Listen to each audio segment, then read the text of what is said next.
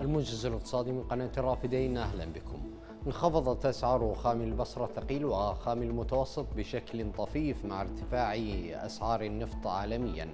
وانخفضت أسعار خام البصرة الثقيل بمقدار 82 سنتا لتصل إلى 76 دولارا و92 سنتا للبرميل.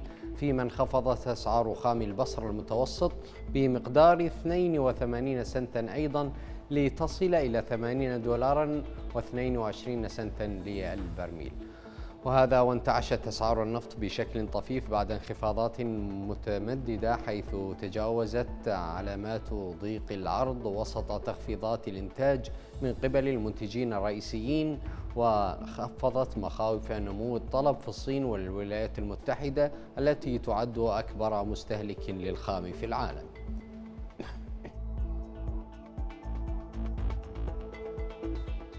قال مسؤول حكومي في وزارة البترول المصرية إن مصر استوردت شحنات وقود بنحو ملياري دولار خلال شهري كانون الثاني وشباط الماضيين من العراق ودول أخرى. وأضاف المسؤول المصري أن واردات المنتجات البترولية شكلت ما بين 60 و 70% من فاتورة الاستيراد بقيمة بلغت نحو مليار و300 مليون دولار خلال شهر كانون الثاني وشهر شباط.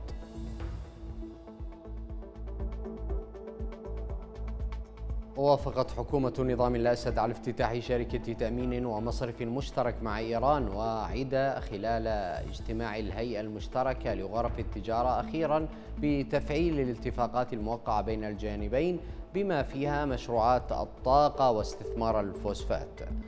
وكشف مصدر صحفي أن معظم المشروعات التي اتفق عليها خلال زيارة الرئيس الإيراني لدمشق في أيار العام الماضي لم تلقى طريقا للتطبيق إذ لم يتم تصفير الرسوم كاملة ولا إقامة المشروعات ولا حتى التزام طهران بتنفيذ مشروعات الطاقة أو حتى المساعدة في هذا القطاع.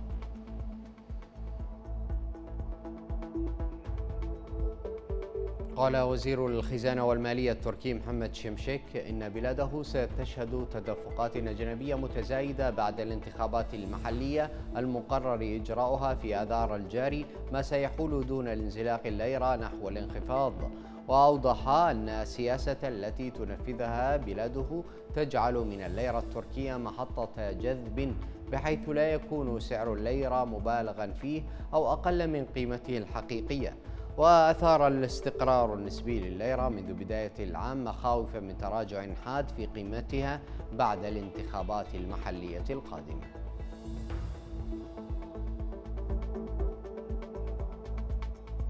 أكدت هيئة الضرائب الصهيونية أن خسائرهم منذ السابع من تشرين الأول تعد أكبر بست مرات من حرب 2006 في لبنان.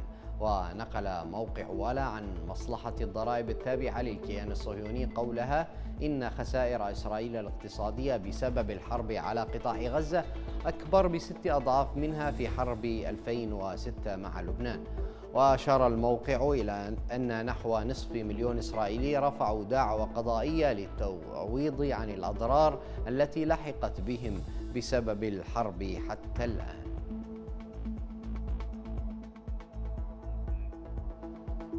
وقبل الختام نذكر بأسعار العملات الأجنبية مقابل الدينار العراقي وبأسعار المعادن.